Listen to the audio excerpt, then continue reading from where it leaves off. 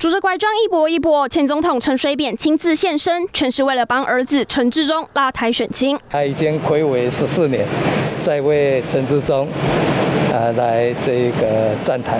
父子俩首次同框车扫，大打亲情牌，就是怕儿子高票落选。我做烦恼，这届的选举是不是会搁历史重演？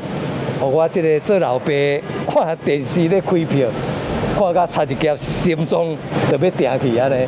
不止担心儿子，也挂心绿营选情。日前，陈水扁再次预测选举结果，喊出民进党今年是保七大作战，维持现有执政县市七个，但民调也会有误差值，因此最好可能十席，最差则会掉到剩下四席。而谈到选举，陈水扁也不忘再次提起三一九枪击案，脸书上洋洋洒洒一篇。陈水扁 Po 文指出，二零零四年三一九枪击案，陈文茜受访时就坦诚会说三一九枪击案是假的，是因为马英九跟他事先说好。分别扮演白脸跟黑脸，控诉两人还欠台湾人民一个道歉。选前倒数就是重提，陈前总统炒话题，不输政港候选人。